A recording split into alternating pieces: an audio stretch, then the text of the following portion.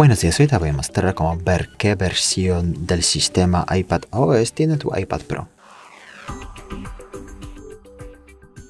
Para eso accedemos a la aplicación Ajustes. Luego en Ajustes aquí a la izquierda abrimos la pestaña General y aquí a la derecha pulsamos la primera opción de aquí, Información, y aquí podemos comprobar la versión del ah, iPad OS. Pulsamos aquí, aquí tenemos todos los detalles.